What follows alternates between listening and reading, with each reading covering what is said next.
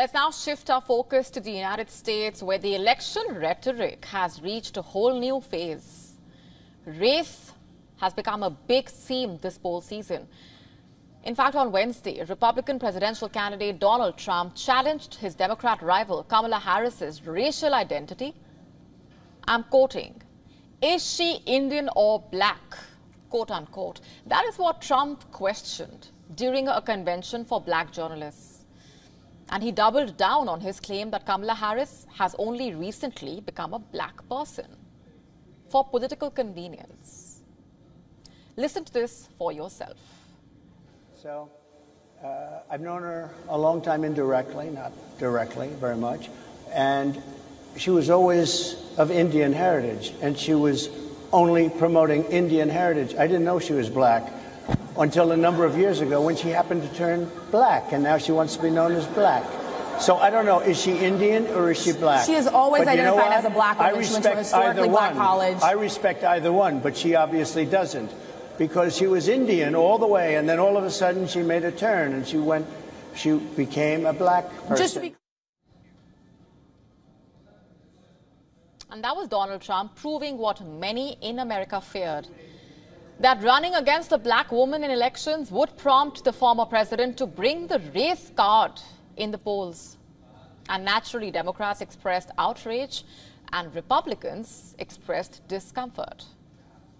Race, as you know, remains an ugly underbelly of American politics. And how did Kamala Harris respond to Trump's claim? Listen to this now. This afternoon,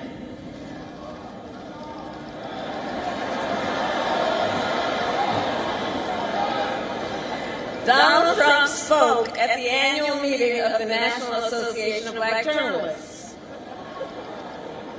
And it was the same old show. The divisiveness and the disrespect. And let me just say, the American people deserve better. Same old show. That's what Harris said about Trump. Remember, the American vice president has always called herself biracial. She has long embraced her black and South Asian identity. Harris, the daughter of a Jamaican father and an Indian mother, was raised in a predominantly black neighborhood in Berkeley, California. Her mother believed that her daughters would eventually be recognized as black women and therefore wanted them to be surrounded by strong role models. In her youth, Harris attended Howard University, a historically black institution in Washington, D.C. In 2019, she famously said, I was born black, I will die black, and I'm not going to make excuses for anybody because they don't understand, quote unquote.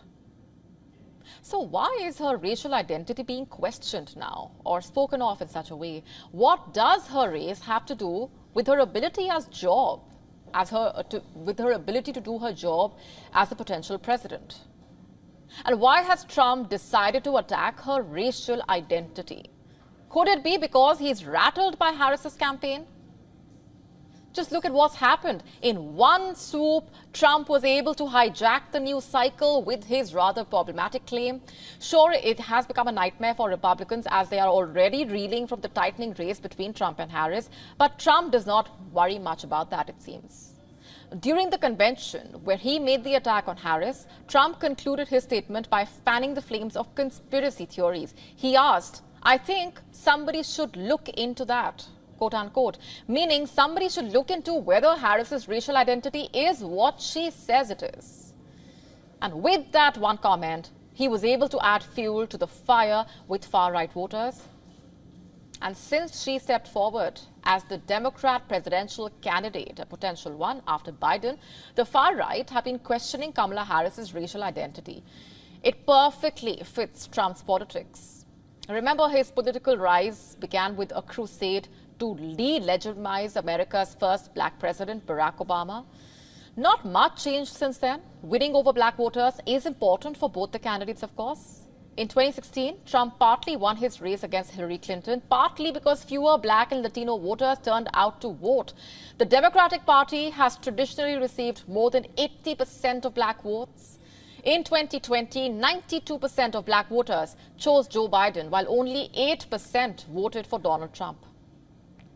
Black voters currently make up at least 10% of the population in several key states, including Michigan and Florida.